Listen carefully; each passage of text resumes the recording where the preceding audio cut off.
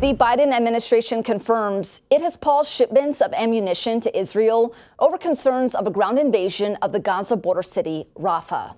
Republicans are demanding answers following the news. Last month, Congress passed a $95 billion foreign aid package for Israel and Ukraine, earmarking $15 billion in aid for the Israeli military. U.S. officials said the administration paused the shipment of 3,500 bombs to apply pressure to Israeli leadership.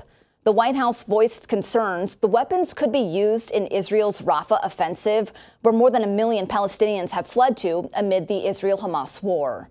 House Majority Leader Steve Scalise accused the president of appeasing what Scalise called Biden's, quote, radical anti Semitic base.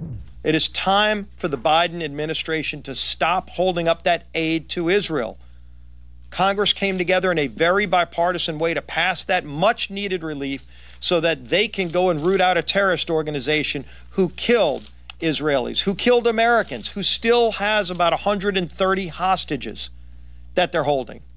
And the Biden administration is going to hold up the aid to Israel?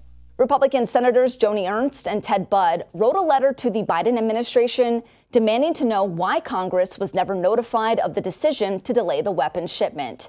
Republicans want to know why the Biden administration withheld the aid, if the administration has plans to withhold aid in the future, and to explain how the decision to withhold the aid is helpful to Israel defending itself from terrorists.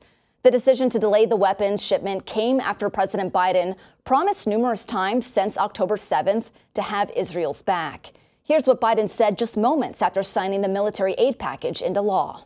My commitment to Israel, I want to make clear again, is ironclad. The security of Israel is critical. It will always make sure that Israel has what it needs to defend itself against Iran and terrorists it supports. In February, Biden issued a memorandum stating that recipients of U.S. military aid must follow U.S. laws. The Biden administration is expected to deliver its verdict to Congress Wednesday on whether Israel has violated international laws or U.S. laws when it comes to airstrikes on Gaza or withheld humanitarian aid for Palestinians.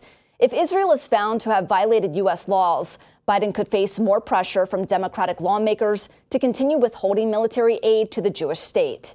For Straight Arrow News, I'm Lauren Taylor. If you want more stories just like this one, download the Straight Arrow News mobile app.